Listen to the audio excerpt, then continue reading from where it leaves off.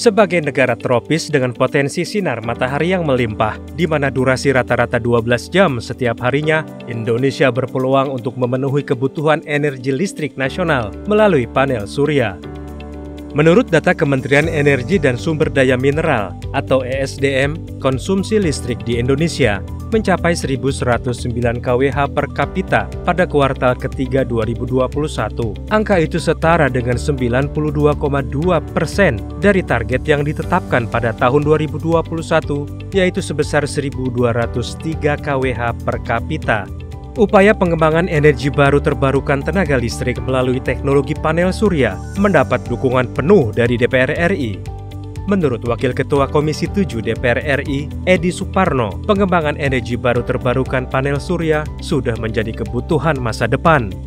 Namun ia mengingatkan, harus sejalan dengan peningkatan tingkat komponen dalam negeri atau TKDN kita uh, masih prihatin terhadap tingkat kandungan dalam negeri ya bahwa TKDN-nya itu uh, mas masih bisa diperbesar ditingkatkan lagi ya ditambah lagi bahwa uh, bahan baku untuk uh, panel surya itu masih harus diimpor.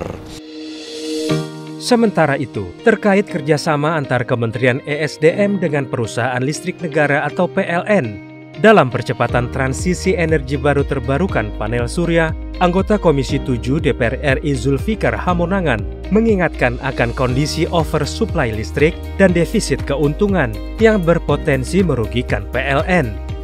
Lalu kita mau pasang panel, lalu karena kita pasang panel, karena kan sebetulnya capman-nya sudah ada yang mengatur. Kalau kita pasang uh, panel surya, terjadi penghematan listrik akibat panel, maka listrik yang kita pakai dari PLN hanya misalkan 30%.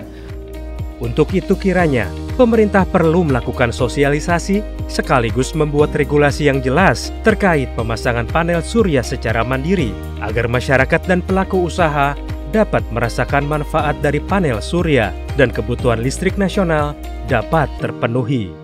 Tim Liputan, TVR Parlemen melaporkan.